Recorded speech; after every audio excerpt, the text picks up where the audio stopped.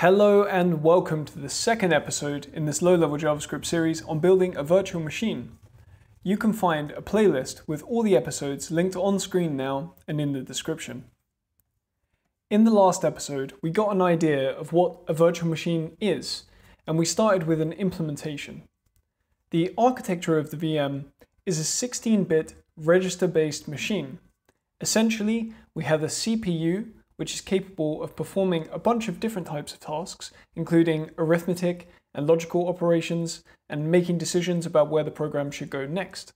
It's register based because the CPU itself has very small dedicated memory cells on board, and they hold values that are being used while the CPU is actually executing its operations.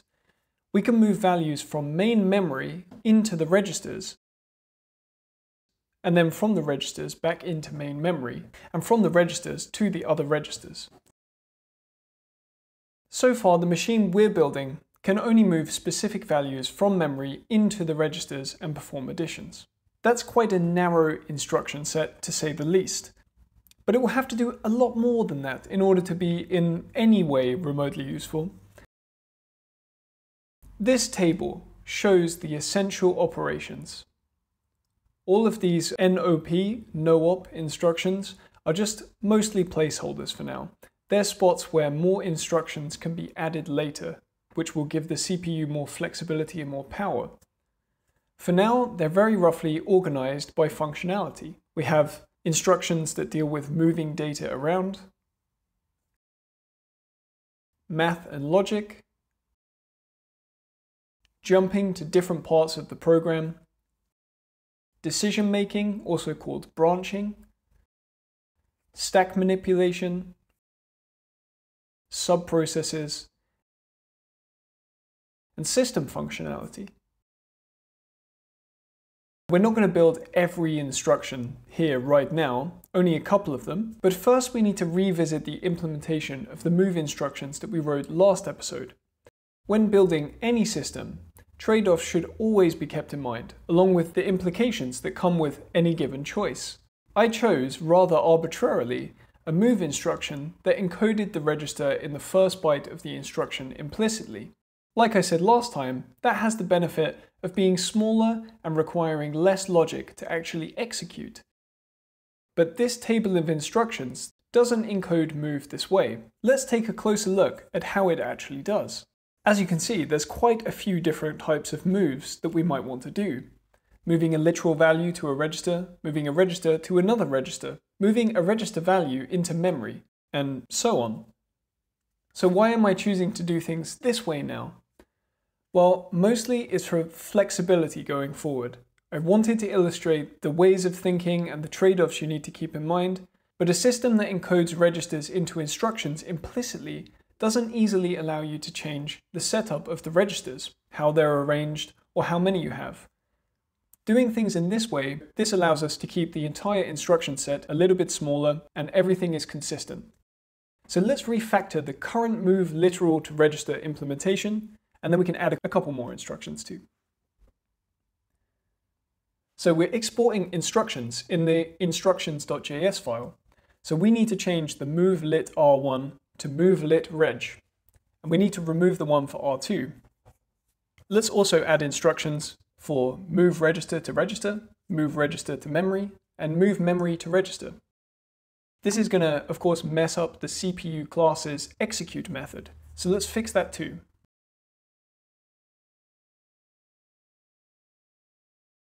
We still need to get this literal value from memory, so that's not going to change. But we now need to get an encoded register index.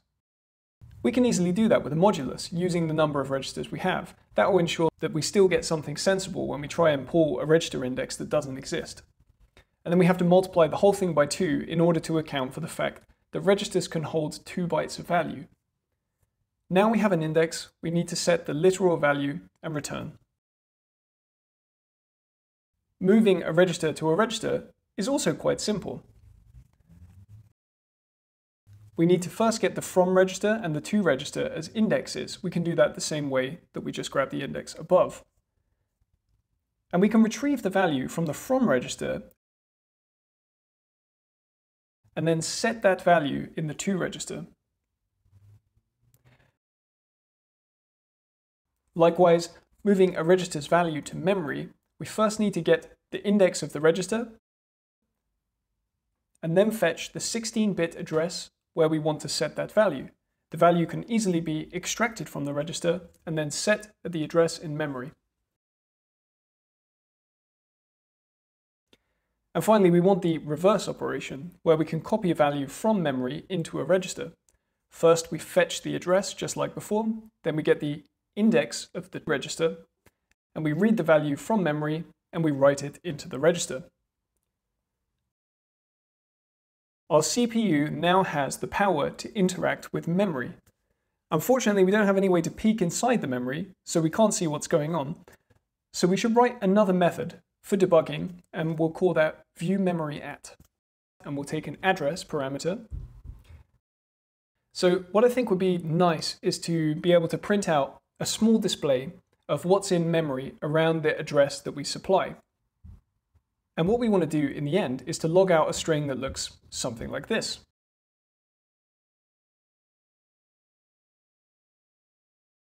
So what we have is the address there on the left with a colon that indicates the start of where we're where we're inspecting the memory. And then on the right, you see the byte that we find at that address, plus the seven bytes that come after that. Now, a good thing to remember at this point is the CPU sometimes deals with values as bytes, and it sometimes deals with them as 16-bit values, so two bytes joined together. Depending on the context, we might think of the address 0f01 having the byte value 04 or the 16-bit value 0405. Okay, so how can we do that? We can create an array of the 8 bytes that occur from that address with array.from. For the mapping function, we can extract the index parameter that we're given and use that as an offset from the address. Then we can log that out all in this format that you've just seen now, all printed and padded nicely in hexadecimal.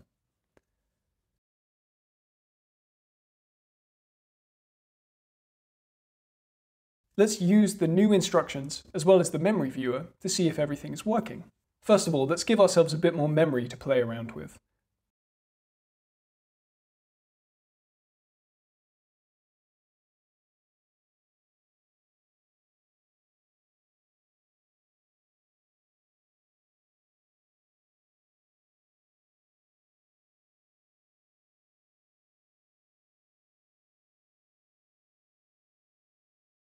Now we can modify the adding program from last time using the new instructions. First, moving a value into the R1 register, and then another one into the R2 register.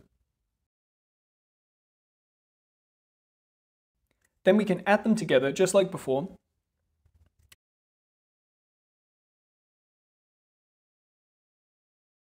Let's add one more instruction so that we can store the value back in main memory. That's going to be a move register to memory. First specifying the register, which is the accumulator register, as that's where the results of calculations end up. For the address, let's use a value which is way beyond where our program ends, something like 0100. Lastly, we can add all the steps and the debugs that we need but also using the viewMemoryAt method. Let's, let's use that two times. Let's have one viewMemoryAt where we point to the instruction pointer, and one viewMemoryAt where we point at the 0100 address, so that we can see if it changes.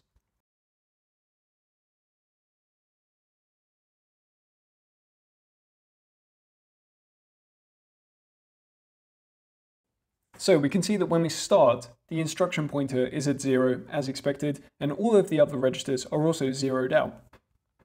Now, if we read here at the program memory, which starts at zero, the instruction is a 0x10. And if we look that up in our instruction table, that's a move lit reg. That makes sense. We've just written that.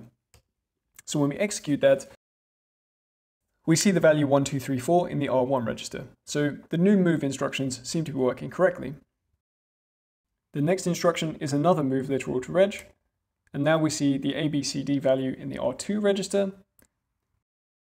Our next instruction after that is the add register to register, OX14, And in the accumulator, we see the total there, OXBE01.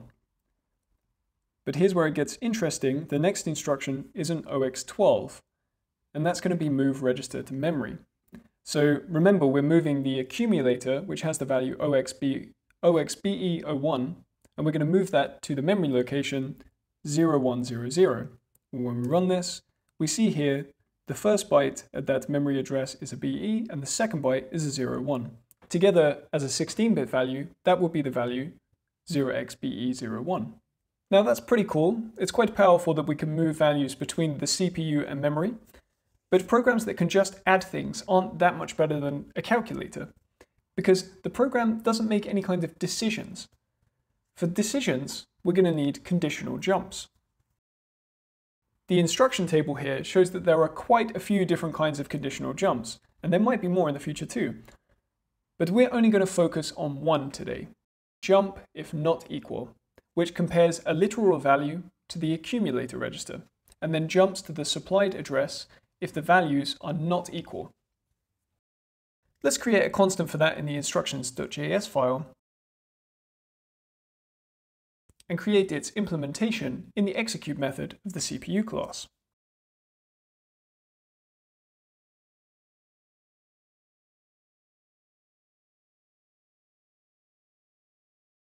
First, the value that we want to compare is going to be specified. It's 16 bits, so we can use a fetch 16 for that.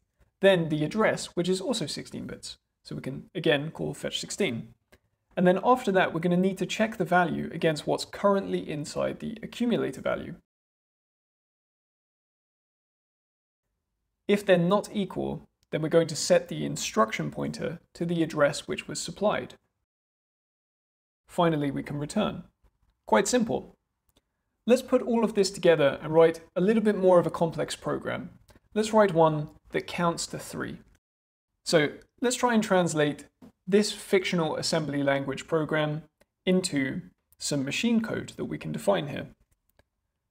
So the word at the start there, the word start, that is just a label. It indicates an address in memory, and referring to the label is referring to that address. So in this case, that address would be zero. On this first move instruction, I've used a hash symbol to indicate that it's a memory address. So this instruction is going to move the value which is found at the address 0100 into the R1 register. This second instruction is going to move the literal value 1 into the R2 register. Then we're going to add the two registers together. We're going to move the value that's inside the accumulator into the memory address 0100, and then we're going to call our jump not equal instruction. Our comparison value is going to be 3, so if the value inside the accumulator is not 3, we're going to jump to the address of start, which is 0, the beginning of the program. So let's translate this into our machine code representation in the same way as we did before. And we won't have to worry about this label because it's just going to be the value 0, so we'll just put 0 in at those points.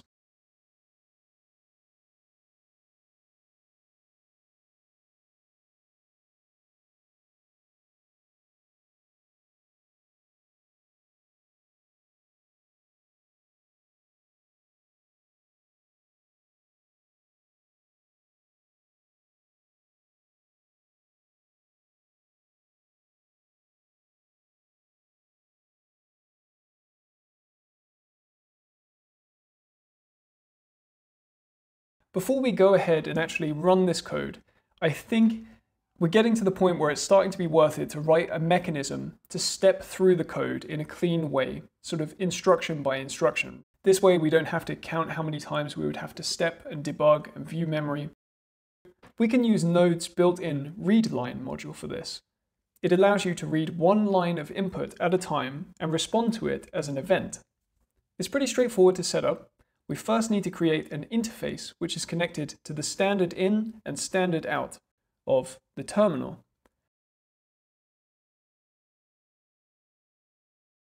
Then we can attach a line event to the interface we've just created. We're not going to do anything with the line. We don't care about what the, what the user pressed aside from enter. We're just going to step the CPU forward one cycle. We're going to call debug and we're going to call viewMemoryAt with our two points. And we can put this on the outside too, so that we can see the first initial state before we run. So let's run it. Okay, so as expected, all of the registers start in the zero state, and our first instruction is a 13 instruction, a move memory to register. Now, we can see the value that's in OX100 here, it's zero, so nothing is going to happen here. We're not going to see the R1 register change. The next instruction is going to be moving a literal value into a register. We're going to move the value 1 into the register, so we should see that in R2. And we do. Now we have our add, so the accumulator adds 1 and 0, which we get 1. And now we're going to move that value 1 into the memory address 0100. And so now we actually see that there inside the memory.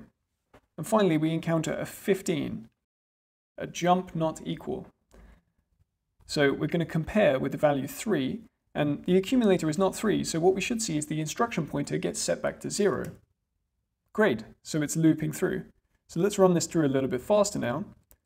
Go through the same procedure again. We have 2 in the accumulator, but we jump back again. And now we have 3. When we finally go to execute the jump not equal, what we see is the instruction pointer just keeps increasing, but we're executing zeros, so we just treat them as no operation, and we just keep moving through. So now we have a single way of making decisions. It's not what I would call convenient, but seeing as we can only use this as an extremely glorified calculator right now, it doesn't give us a whole lot of power. We're going to extend the capabilities of this virtual machine in the next episode. Now, before this episode comes to an end, I want to share some news with you. I've started a Patreon for this channel. Making these videos is quite time consuming, uh, takes a lot of time in planning and editing and all of those kind of things. So if you're finding this kind of content interesting and you're in a position to do so, consider supporting the channel for as little as $1 per episode. You'll find all the relevant links for that down in the description. And if you're not in a position to do that, then please absolutely don't worry. Just watching is support enough, and I super appreciate all of you who are. I really hope you've enjoyed this installment of building a virtual machine. Thanks very much for watching, and I'll see you next time.